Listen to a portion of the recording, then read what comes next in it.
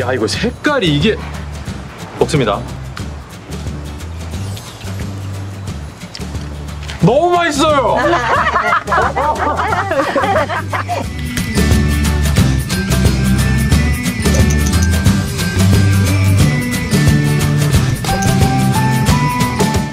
Hai teman-teman Ben's Kitchen Studio di rumah Kembali lagi dengan saya Grace Hari ini kita mau bikin klepon ala Korea Apa itu? Namanya gyeongdan Biasanya gyeongdan diisi dengan kacang-kacangan Seperti kacang merah atau kacang tanah Nah kali ini aku mau bikin yang versi isi coklat Penasaran? Yuk tontonin aja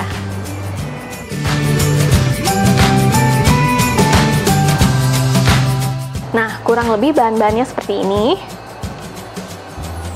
Yang pertama kita bakal bikin uh, isian coklatnya dulu. Di sini ada benz kakao afrikoa,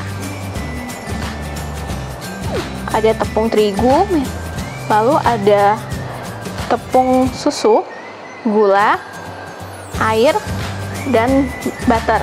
Ini masukin aja semuanya. Aduk dulu pakai whisk.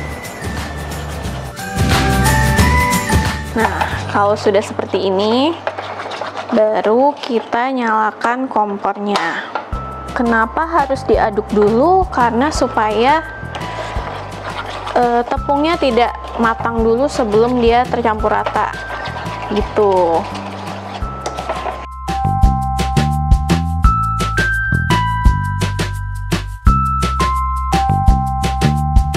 Nah, kalau sudah menyatu semua seperti ini dan sudah tidak ada bau tepungnya lagi, boleh kita matiin kompornya. Nah, ini kita sisihkan. Nah, di sini aku udah nyiapin piring yang udah ada uh, plastik wrapnya seperti ini. Kita taruh ke dalam sini. Gepeng-gepeng aja karena nanti kita bakal bagi dia Nah, ini ditutup biar nggak skinning atau tidak ada permukaan kulit yang kering itu loh. Kenapa pakai wrap juga supaya uh, gampang diambilnya, nggak nempel di piringnya ini sendiri gitu. Simpan di kulkas kurang lebih setengah jam. Nah, di sini ini dia nih yang juaranya. Ada si mochi filling mochi filling ini jadi kalian kalau pakai ini nggak perlu ribet-ribet lagi nimbang tepung takut kelembekan karena kebanyakan air kalian tinggal pakai aja bisa dengan warna putih seperti ini atau aku juga mau bikin yang versi maca sama versi warna hitamnya nah pertama kita mau bikin yang maca dulu nih di sini ada 150 gram mochi filling taruh aja langsung Terus di sini ada matcha powder. Nyalain kompor, api kecil aja. Kita aduk-aduk sambil dimasak. Nah, jangan takut nggak bakal nyampur karena nanti kalau mochinya udah anget itu bakal nyatu sama matcha powdernya. Nah, ini kalau udah rata semua dan udah jadi gumpalan seperti ini, dan udah nggak selembek yang tadi nah kita bisa matiin kompor lalu kita sisihkan di wadah yang udah ada lapisan diolesin sama minyak. Kita biarin dulu sampai uh, rada dingin biar bisa gampang dibentuk. Sekarang kita langsung bikin yang uh, warna hitamnya masih bisa pakai pen yang tadi yang warna hitam sama aja pakai mochi. Yang bikin beda ini si uh, Benz Kakao Ebony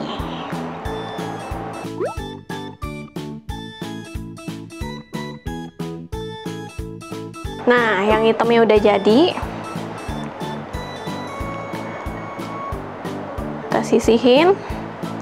Biarin dingin. Sekarang kita lanjut bikin untuk kacang luarnya. Di sini ada kacang yang udah di roast, di toast atau di bake. Sama aja, disangrai juga nggak apa-apa. Terus icing sugar, icing sugarnya sesuai selera aja sama perbandingan kacangnya juga. Kalian bisa pakai kacang apa aja. Di sini aku pakainya kacang tanah.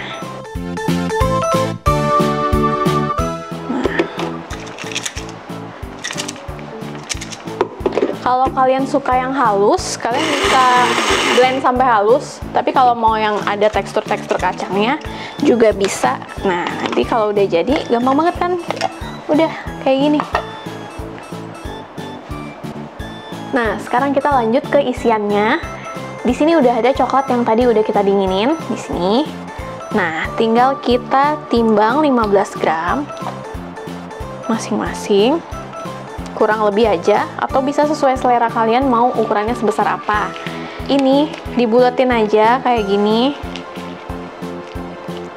Nah bulat-bulatin semua. Nih di sini aku udah nyiapin isian kacang merah yang udah dibulat-bulatin isian kacang merah ini ada yang udah jadi aku pakainya yang udah jadi aja biar nggak uh, buang-buang waktu untuk bikin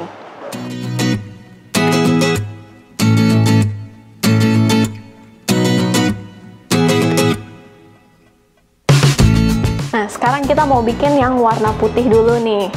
Uh, di sini kalian cukup nyiapin untuk uh, pemotongnya pisau yang sudah dilapisi dengan plastik wrap. Lalu kalau tidak uh, tidak mau menggunakan pisau, kalian juga bisa pakai scraper yang berbahan plastik itu dilapisin dengan uh, minyak. Jadi yang tadi pisaunya juga dilapisi dengan minyak ya.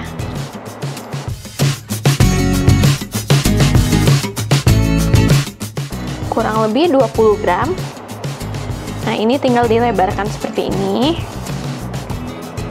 lalu kita isi dengan isi yang coklat tadi.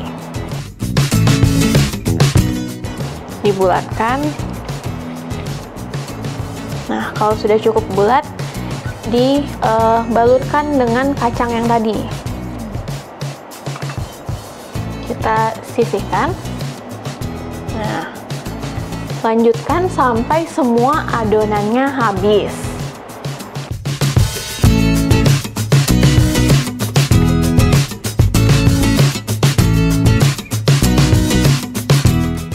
Sekarang kita mau bikin yang macanya. Yang maca ini aku mau isiin sama uh, red bean paste atau kacang merah. Sama aja caranya.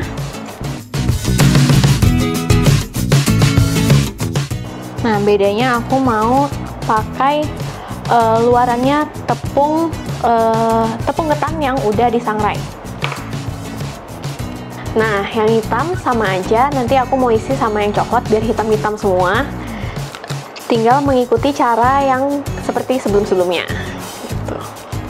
Nah, ini biar warna hitamnya kelihatan, kita bedanya dipnya ke minyak.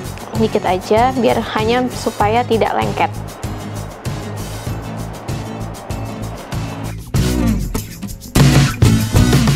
Nah, ini sebenarnya mochinya udah jadi nih. Tapi kalau kalian mau tekstur yang lebih kokoh dan tampilan yang lebih cantik, kalian bisa pakai cup-cup seperti ini.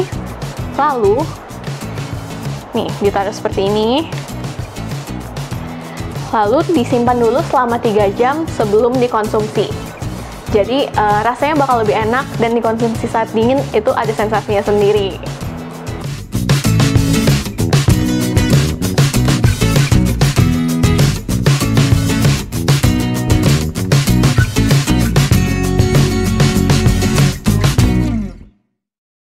Nah, ini udah jadi nih. Nah, karena ini resepnya simple, jadi aku dekorasinya di platingannya aja. Ini bisa kalian kreasiin sesuai dengan kreativitas kalian. Nih, kita cobain dulu ya. Hmm, mochinya enak banget, kenyalnya pas, dan rasa coklatnya enak banget. Dicampur sama rasa kacang. Nah, untuk membuat gyeongdan dengan resep ini, aku rekomendasiin kalian buat pakai mochi filling, supaya kalian nggak perlu repot-repot dan bisa langsung dapet tekstur yang pas. Nah, aku juga rekomendasiin kalian untuk pakai semua produk di bawah ini untuk mendapatkan rasa yang juga lebih maksimal. Jangan lupa juga untuk saksikan terus live Instagram kita setiap hari Jumat jam 1 siang. Di sana kalian bisa tanya-tanya langsung pada kita seputar baking. Terakhir, jangan lupa juga untuk like, comment, dan subscribe YouTube channel kita. Sampai jumpa di resep-resep selanjutnya. Saya Grace dari Ben's Kitchen Studio. Yuk, baking yuk! Dah!